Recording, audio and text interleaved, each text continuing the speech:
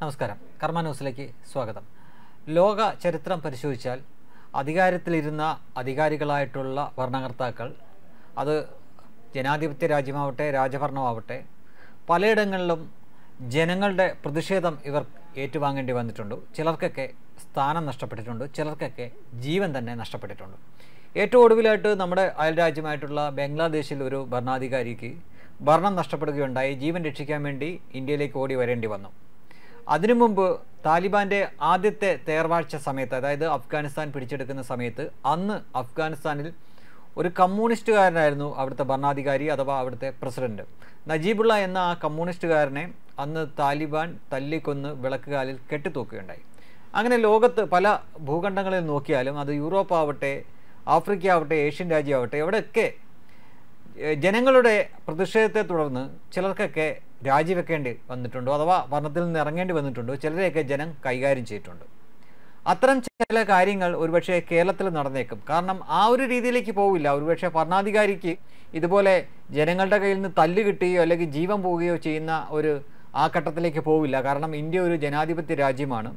ഇന്ത്യയ്ക്ക് വ്യവസ്ഥാപിതമായിട്ടുള്ള ഒരു സർക്കാരുണ്ട്.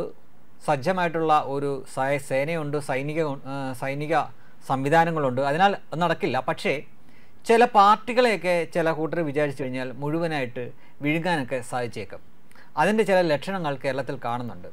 കമ്മ്യൂണിസ്റ്റുകാർക്ക് ലോകത്ത് പലയിടത്തും സംഭവിച്ചത് തന്നെയാണ് ഒരുപക്ഷെ കേരളത്തിലും സംഭവിക്കാൻ പോകുന്നത്. ഈ പെരുമ്പാമ്പിന് തീറ്റ കൊടുത്തിട്ട് കൂടെ കിടത്തി വളർത്തിയതുപോലെയാണ് കമ്മ്യൂണിസ്റ്റുകൾ സുഡാപ്പി വർഗീയതയെ താലോലിച്ച് വളർത്തിയത്. പെരുമ്പാമ്പ് വളർത്തുന്ന ആളുടെ ഒപ്പം വന്ന് കിടക്കും. അത് വാസ്തവത്തിൽ ഇരയുടെ നീളം അളന്ന് തനിക്ക് വിഴുങ്ങാൻ പാകമായോ എന്ന് മനസ്സിലാക്കാനാണ്. വളർത്തുന്ന ആൾ പക്ഷേ കരുതുന്നത് പാമ്പിന് തന്നോടുള്ള സ്നേഹം ഒത്ത് സ്വന്തം മകനെപ്പോലെ പോലെ കൂടെ വന്ന് കിടക്കുകയാണെന്നാണ്. ഇത് തന്നെയാണ് കമ്മ്യൂണിസ്റ്റുകൾക്കും എഴുപതുകളിൽ ഇറാനിലും അഫ്ഗാനിസ്ഥാനിലുമൊക്കെ സംഭവിച്ചത്.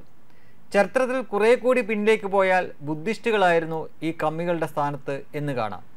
കഴിഞ്ഞ മൂന്ന് പതിറ്റാണ്ടുകൾ കൊണ്ട് കേരളത്തിലെ കമ്മ്യൂണിസ്റ്റ് പാർട്ടിയിൽ അടിമുടി നുഴഞ്ഞു കയറിയ ഈ സുഡാപ്പികൾ എന്ന പെരുമ്പാമ്പിന് ഇന്ന് തന്റെ ഇരയെ വിഴുങ്ങാനുള്ള സമയം ആ സമയം സമാഗതമായിരിക്കുന്നു എന്ന് അവർക്ക് ചില തോന്നലുകൾ ഉണ്ടായിരിക്കുന്നു. പി വി അൻവറിന്റെ പടയൊരുക്കം അതിന്റെ നാന്ദിയാണ്. കെ ഡി ജലീലിന്റെ പിന്തുണ അത് ഉറപ്പിക്കുന്നു. രണ്ടായിരത്തി ഇരുപത്തി ഒൻപതിൽ Rahul Gandhi Soros C I A സഹായത്തോടെ ഭരണത്തിലേറുമെന്ന് വിശ്വസിക്കുന്ന സഖാപ്പികൾ കൂട്ടത്തോടെ രണ്ടായിരത്തി ഇരുപത്തി കേരള നിയമസഭാ തെരഞ്ഞെടുപ്പിന് മുൻപ് കോൺഗ്രസിലേക്ക് ചേക്കേറിയാലും അത്ഭുതമൊന്നുമില്ല. പിണറായിയുടെ ഭരണം തീരുമ്പോഴേക്കും കേരളത്തിൽ സി പി എമ്മിന്റെ കഥ ചിലപ്പോൾ കഴിഞ്ഞേക്കും. മരുമകൻ ഉൾപ്പെടെ ഈ വിഭാഗം ഒറ്റക്കെട്ടായി യു ഡി എഫിലോ അല്ലെങ്കിൽ ലീഗിലോ ചെന്ന് കയറിയാലും ഒരത്ഭുതവുമില്ല. മറുഭാഗത്ത് പക്ഷേ ബി ജെ പി വളരുകയും ചെയ്യും.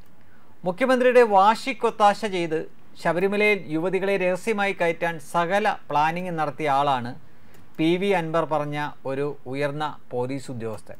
അയാൾ കൊടും ക്രിമിനലാണെന്ന് മുഖ്യമന്ത്രിയുടെ വിശ്വസ്തനായ എം എൽ എ തന്നെ ആരോപിക്കുമ്പോൾ നമുക്ക് മറ്റെന്താ പറയാനാവുക? ഇതിനൊക്കെ കർമ്മബലം എന്ന് പറയണോ അതോ വിതച്ചത് കൊയ്യുന്നു എന്ന് പറയണോ? ഇതിനിടയ്ക്ക് വേറൊരാൾ എസ് പിയുടെ ഫോൺ സംഭാഷണവും കേട്ടത്രേ. എന്തൊക്കെ ഇനി കേൾക്കണം? ഇതുപോലുള്ള ബുദ്ധിയില്ലാത്തവരും പേടിത്തൊണ്ടന്മാരൊക്കെയാണോ ഇപ്പോൾ സിവിൽ സർവീസ് വഴി ഐ പി എസിൽ എടുക്കുന്നത് എന്ന് തോന്നിപ്പോവുകയാണ്? ഞാൻ മുൻപ് ഒരു പെരുമ്പാമ്പിന്റെ കഥ പറഞ്ഞിരുന്നു. പെരുമ്പാമ്പ് കൂടെ വന്ന് കിടക്കുമ്പോൾ വളർത്തുന്ന ആൾ വിചാരിക്കും സ്നേഹം കൊണ്ടായിരിക്കും ഇത് തന്റെ കൂടെ കിടക്കുന്നതെന്നാണ് അത് സ്നേഹം കൊണ്ട് കിടക്കുന്നതല്ല. തന്റെ ഇരയെ തിന്നാനും മാത്രം വലിപ്പം തനിക്കായോ എന്ന് അളന്നു നോക്കുന്നതാണ്. അങ്ങനെ ആയി എന്ന് തോന്നുന്ന സമയം തന്നെ ഇതുവരെ വളർത്തിക്കൊണ്ടിരുന്ന ആ ആളിനെ ആ പെരുമ്പാമ്പ് പിടിച്ച് വിഴുങ്ങും. ഉദാഹരണം പറഞ്ഞു എന്നേ ഉള്ളൂ. ഇവിടെ പെരുമ്പാമ്പിനെ വളർത്തുന്ന സി പി എം ആവണോ ഈ പാർട്ടി എന്ന് ചിന്തിക്കേണ്ടത് ആ പാർട്ടിയിലുള്ളവർ തന്നെയാണ്. നന്ദില ബെൻസ ബെൻസ ഓഫർ. നിന്നും പർച്ചേസ് ചെയ്യൂ. ബെൻസ ബെൻസ ഓഫർ ബമ്പർ ഒരു ബെൻസ് കാറും ഒപ്പം അഞ്ച് മാരുതി എക്സ്പ്രസോ കാറുകളും ഗൃഹോപകരണങ്ങൾക്ക് എഴുപത് ശതമാനം വരെ ഡിസ്കൗണ്ടും നേടും. ഗോപു ജിമാർട്ട് കേരളത്തിൽ എല്ലായിടത്തും.